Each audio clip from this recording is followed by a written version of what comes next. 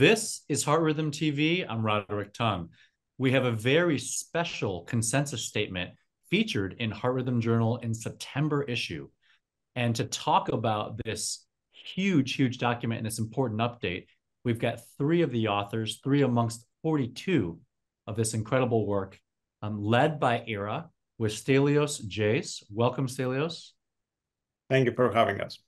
Our leader and, and an EHRA spokesperson. And then we have Ed Gerstenfeld and Elaine Wan from, from the United States and representing Heart Rhythm Society. Thank you for joining us, Ed and Elaine. Thank you. Thanks, Rod. Great to be here. And this is obviously in collaboration with APHRS, LAHRS. Someone take us through where we were in the prior statements and what sort of effort this required to get this one off the ground.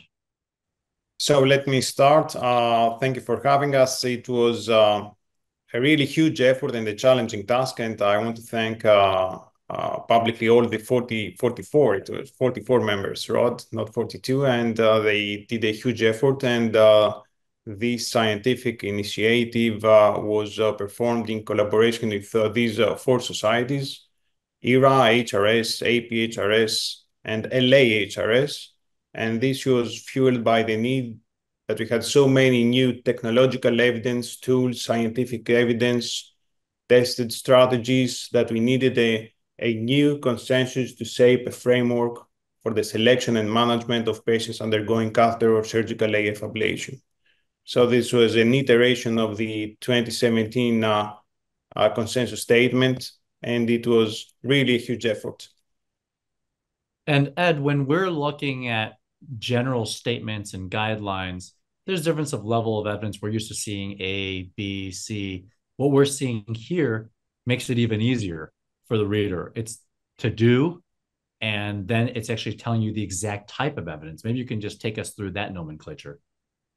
Yeah, thanks, Rod. Um, and part of the reason for that is that technically this is a consensus statement as opposed to a guideline document. So that's why the societies felt that we couldn't use the class one, two, three uh, nomenclature. But as you said, I think it is in a sense for the to do it, you know, more straightforward where to do is recommended, may be appropriate, would be would have been sort of a 2A type ca category. Uncertain means there's some controversy, and then the not to do, and then the level of evidence. Personally, I push back against meta. Meta means multiple randomized trials or meta-analyses. I wasn't a fan of having meta-analyses being the highest standard, but that means multiple trials. You know, random rand mean one high-quality trial, observational studies, and then opinion. So um, hopefully, if that's clear, it, it it argues you know what the the strength of the recommendation is and the supporting evidence.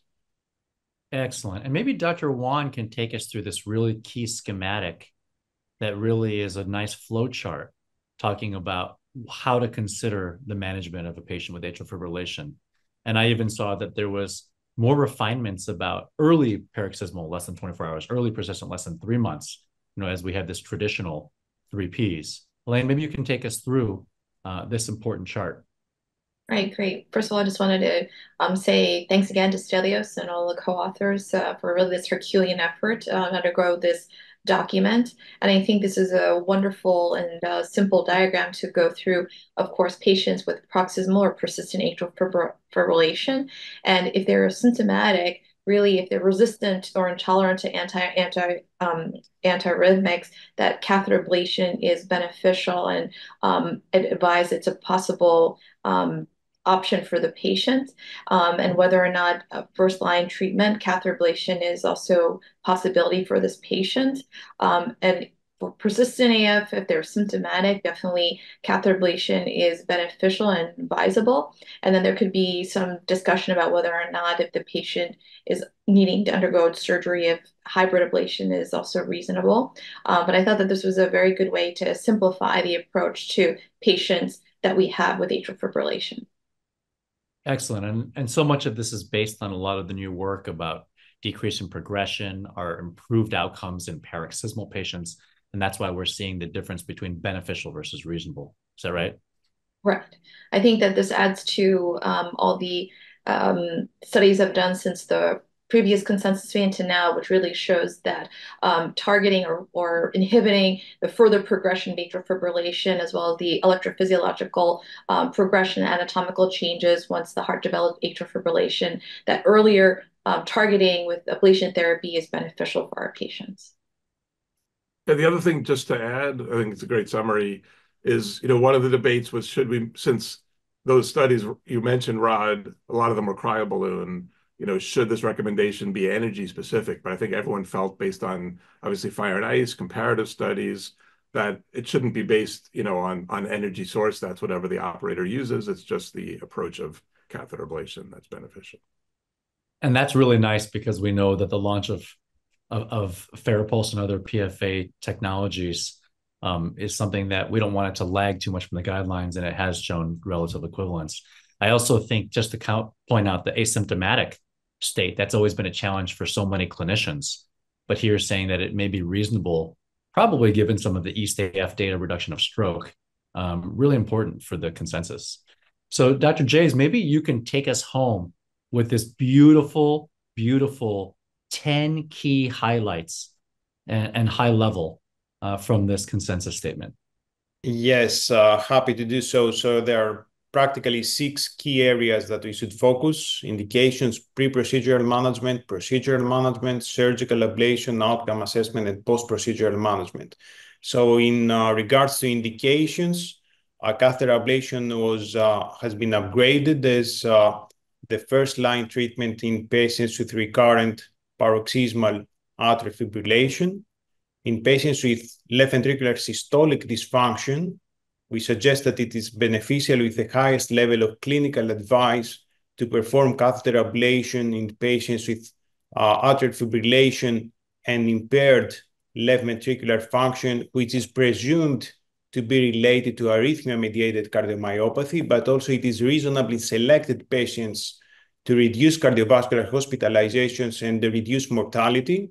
Regarding pre-procedural management, the thrombus screening may be reasonable even routinely, even in those that have been uh, anticoagulated therapeutically, provided that they are considered to be high risk if they have one of the following risk factors, a high uh, thromboembolic risk based on a CHA2DS2-VASc score 3 and above, persistent atrial fibrillation, hypertrophic cardiomyopathy, cardiac amyloidosis, or rheumatic heart disease.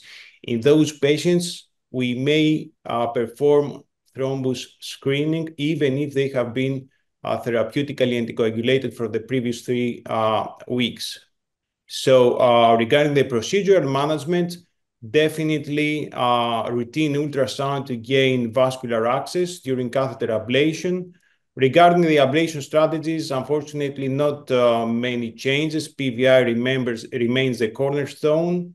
We don't have consistent evidence to support a specific adjunctive strategy beyond PVI that confers additional benefit uh, in relation to PVI only in patients with persistent atrial fibrillation. Regarding the surgical ablation, always LAA exclusion during all surgical AF ablation, whether it's concomitant, whether it's a hybrid. Uh, we should exclude the left atrial appendage. We have strong data supporting uh, this clinical advice, and in patients undergoing concomitant AF surgery, LA open AF surgery, uh, ideally a bilateral Cox maze or a minimum of PVI plus posterior wall isolation. Regarding the outcome assessment, I would think one of the major changes is that we strongly suggest to reduce the duration of the blanking period from three months to eight weeks, and we can uh, discuss further on that. Regarding the AF recurrence endpoint, we had uh, a strong discussion on that, difficulties to reach consensus, but we suggest to maintain the current practice and to report the 30-second threshold data despite the associated uh, caveats and, uh, and uh, weaknesses. And we strongly suggest to report AF burden as an efficacy endpoint during catheter ablation. For the post-procedural management, we suggest post-ablation treatment with uh, therapeutic anticoagulation, depending on the stroke risk of each patient, to be tailored on the thromboembolic risk of our patients after the two months. and in the early period, as it used to be, no change, therapeutic anticoagulation for all our patients. And also a same-day discharge is reasonable in selected patients to reduce healthcare utilization. I think these are the 10 key messages from these consensus statements. That's fantastic. Thank you very much for the visual summary, and I think our readers are going to enjoy it. Um, I think that it's a really clean statement to say there's no consistent evidence in favoring any adjunctive strategy with PVI.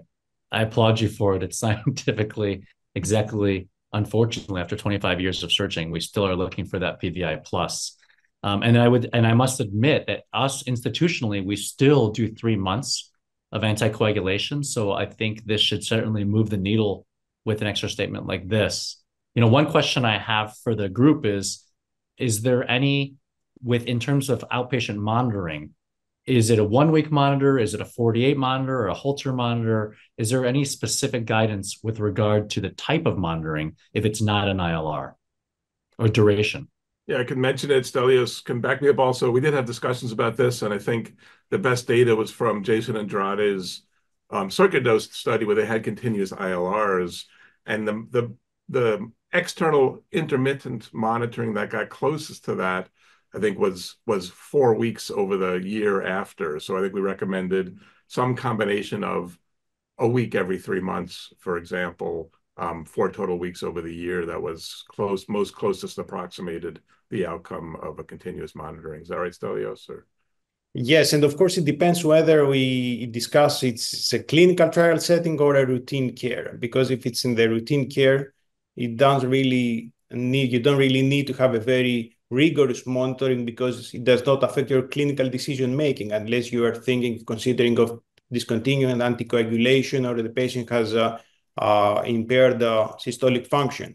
But in the clinical trial setting, the long-term uh, uh, monitoring uh, is ideal. Continuous continuous monitoring is the ideal strategy, and the best the best alternative is what Ed discussed based on the analysis of Jason Andrade from the Circa-Dose trial is four weeks of cumulative intermittent using one or two week prolonged monitoring, but a total cumulative intermittent monitoring of four week duration. This is the best alternative to the continuous monitoring.